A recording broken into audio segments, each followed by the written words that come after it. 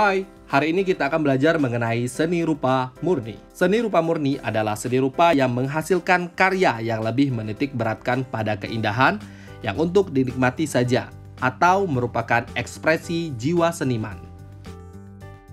Fungsi dari seni rupa murni adalah sebagai hiasan, pajangan, atau sebagai penambah nilai estetika. Nah, sekarang kita belajar tentang contoh dari seni rupa murni. Yang pertama, lukisan. Lukisan adalah sebuah seni yang sengaja dibuat dengan cara menggoreskan cat dengan kuas atau dengan peralatan lain. Kemudian, kanvas adalah sebagai medianya.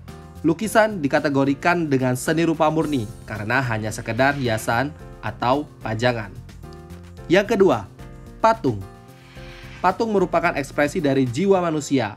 Orang yang membuat patung biasanya berbentuk visual yang membentuk tiga dimensi Tujuan utama dari membuat patung adalah keindahan. Pada umumnya, patung berbentuk manusia, hewan, dan lain sebagainya.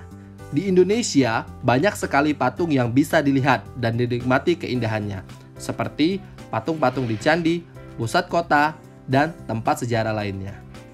Ketiga, relief. Relief adalah gambar atau lukisan yang ditampilkan dalam bentuk tiga dimensi atau trimata yang berada di atas bidang dua dimensi atau dui mata. Relief biasanya terdapat pada tugu-tugu peringatan serta terdapat pada candi. Pada umumnya berisi dengan diorama serta mempunyai nilai sejarah yang sangat tinggi. Seni grafis Seni grafis adalah karya seni rupa yang menggunakan teknik cetak seperti engraving, etsa, mezotin, aquatin, dry point, litografi, cetak saring, dan cetak digital. Kelima, seni fotografi. Seni fotografi adalah jenis seni rupa murni yang berkembang karena kemajuan teknologi kamera. Fotografi banyak disukai oleh banyak kalangan sebagai media mengekspresikan diri.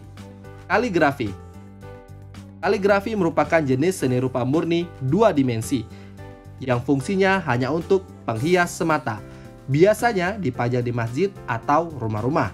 Kaligrafi banyak ditemukan sebagai penghias dinding.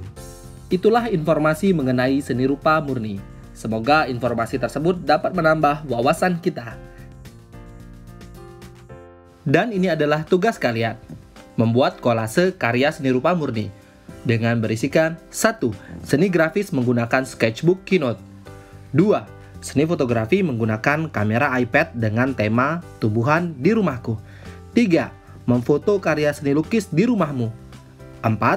Memfoto karya seni kaligrafi di rumah atau membuat seni kaligrafi menggunakan sketchbook.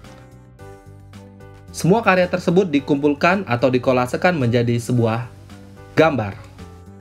Selamat belajar!